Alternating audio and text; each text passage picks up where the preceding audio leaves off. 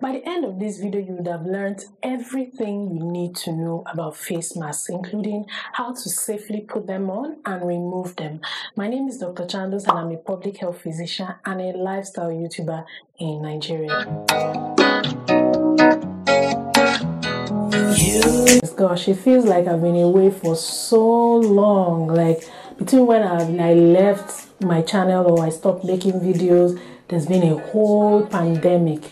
COVID 19 has raged worldwide. There's been so much controversies about face masks, to use them fast. Some, some of mass confusion, if you ask me, to use masks, to not use masks, who is it for? Should we reserve it for people that are caring for sick patients? Should we reserve it for healthcare providers? The whole confusion has been going on, but we're not going to go into all that today because I think by now uh, there's a consensus that there's a place for face masks. And most governments have now instituted a no mask, no entry policy and are insisting, at least in my state, there's a no mask, no entry or no movement policy. If you don't put on your mask, you know you might not be allowed in public places. So right now, we are going to discuss about face masks, the do's, the don'ts, how to use them, the types of face masks, how to remove them, and the whole works. Now, there are generally different types of face masks. So those, the, the types that are generally available here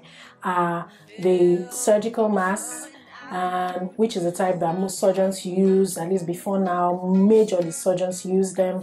And then the respirators, which of which N95 is one of them, and then the DIY masks. In fact, all over the place, since masks were approved, eh, everyone and their grandma seems to be making a mask or the other. But uh, I want to encourage us to check the NCDC's website for guidelines on how to make, make face masks. You know, not all masks are useful. Some masks are just like fashion accessories if you do not do the correct thing or use the recommendations by NCDC. So I'm going to be showing us the different type of masks. The first one will be the surgical mask. So this is the surgical mask. Uh, it has two sides. This is the outward side that has these pleats, right? This is how you know that this is the outer one and it has a darker color compared to the inside. These are the ear strings. These are the ear string. This is the part that goes around the ear. And this is, there's like a, a metal here for molding around the nose. And then this is the part that goes under the chin.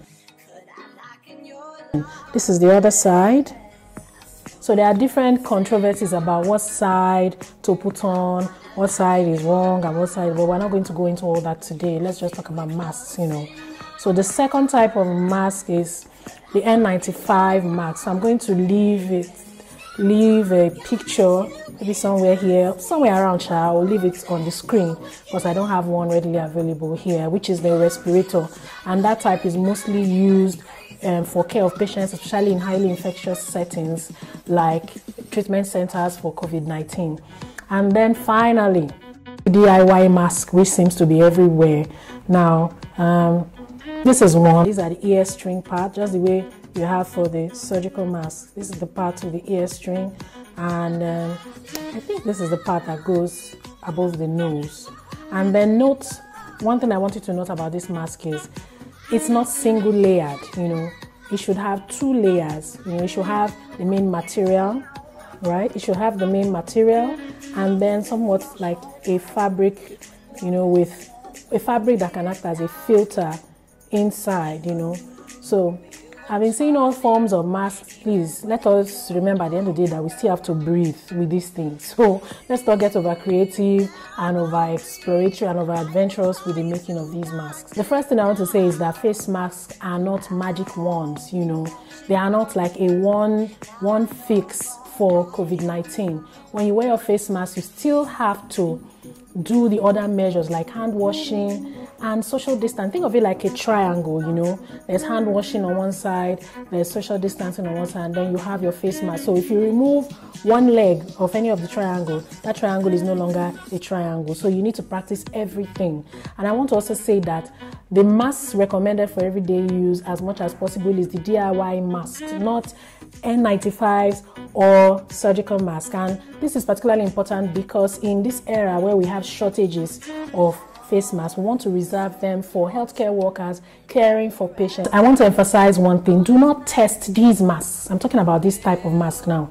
do not test this mask before buying. Like, imagine a situation where me, Dr. Chandus, I want to buy a mask and I put it on my nose and maybe I have COVID 19, say, example, and then I put it on my nose and I test and I sneeze into it and I say, Oh, madam, I don't want to buy again, and I give it to somebody else. I give it to her and she sells it to somebody and they say, Oh, oh let me test it. I don't want to buy again.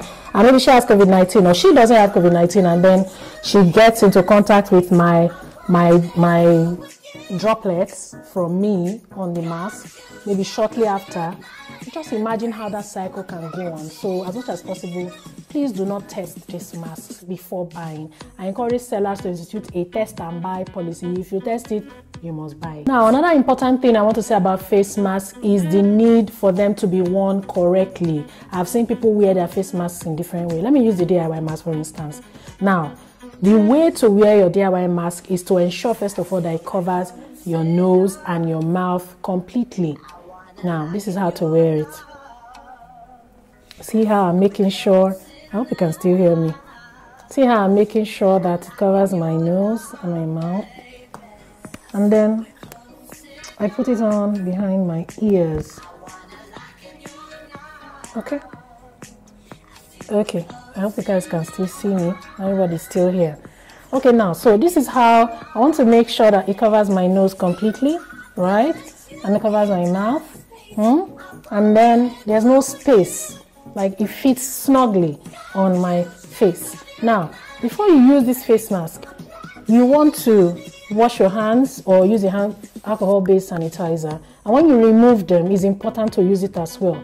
Now, if I want to remove my mask, for instance, I'm not going to go and touch the mm. front because this is a part that is exposed to germs, you know. So as much as possible, avoid this part when you're taking it off. So I want to take mine off, for instance. I put my hand in the straps, you know, without splashing it. I carefully remove this and drop it in my laundry bag to be washed, disinfected, and reused because DIY masks are actually reusable. I do not touch here.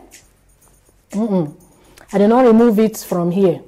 I do not pull it from the front. That's not how to remove face mask correctly. Now, the last important thing that I want to stress is face masks are not recommended for people under two years of age. Children under two years of age are not advised to use face masks, and people who have breathing difficulties as well. So, guys, remember to like this video and subscribe to my channel and to the next video i'll try to be as regular as possible and to keep these videos coming out because our people need to know this information. So thank you guys for watching and see you in the next video. Bye